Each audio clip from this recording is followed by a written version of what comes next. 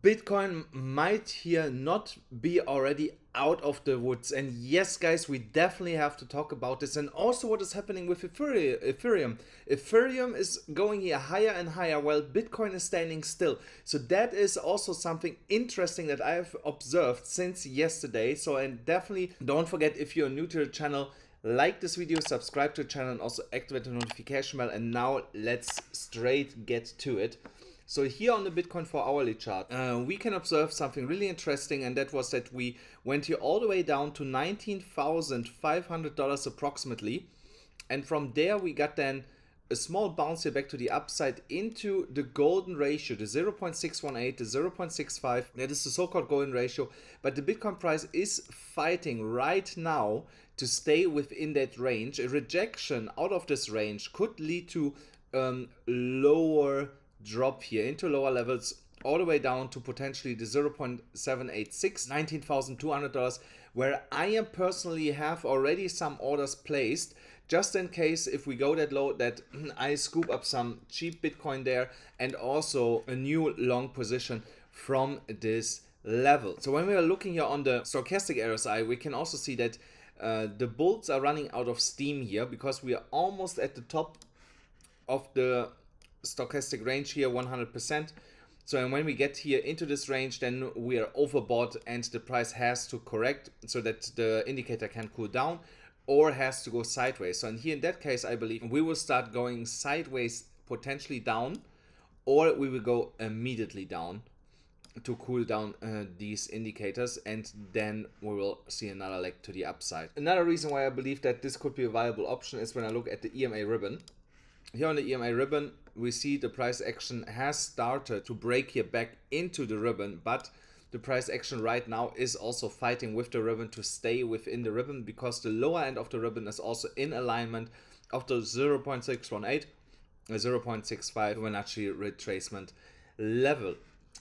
We have um, so much resistance coming in above the uh, above these levels here. Also here you can see at twenty thousand six hundred dollars approximately. Also there the 50 exponential moving average is coming in as resistance and that could be also a reason why the bitcoin price is held down here for the time being. So but what would be a level where i would be looking out for to open a potential new long position for bitcoin?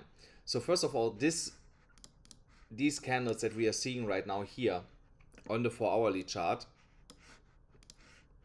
here this section is not looking like uh, a reversal pattern right now. It's not looking like like a W pattern.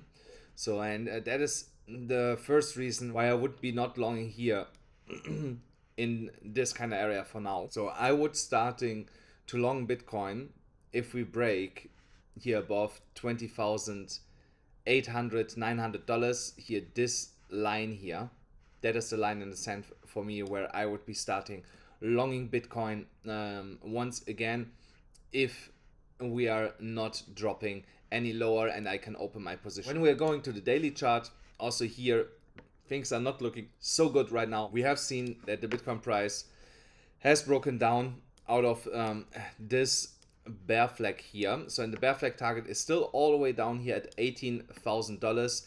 So and we could be creating um, right now a bearish pennant, something like this, and then break further down.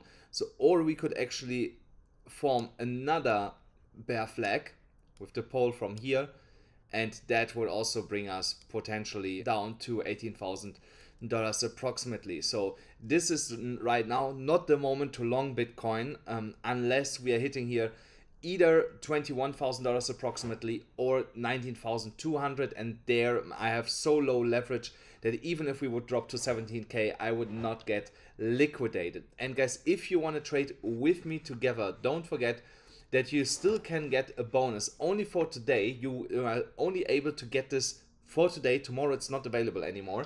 On bybit $4450 only if you click here my specific link. That's really important that you use only this link. Or on BitGet $8,000 free bonuses with 15% discount on the fees also only with this specific link here guys. So now let's have a look here on Ethereum because Ethereum is moving despite what Bitcoin is doing and that is quite interesting. It could be related to the merge of Ethereum where we go from proof of work to proof of stake. So that is a possibility. And here on the one hourly chart, we can um, see that the Ethereum price has already flipped here the EMA ribbon uh, back into uh, an uptrend and to the upside. So, and here we have now a beautiful retest of the EMA ribbon. So um, this uptrend could last for um, quite a while here in the immediate short term. However, when we go to the 4 hourly chart, we have just broken above the EMA ribbon here. So, and the ribbon has not flipped um, yeah, that long time ago. So, and that is for me a sign to be cautious here. Because here, based on the 4 hourly chart, if the price action cannot maintain to stay here in these levels, so basically here in that kind of section, if the price action cannot stay within this uh, box here, then uh, we will most likely see a rejection back to the downside because here's uh, too much heavy resistance in this area.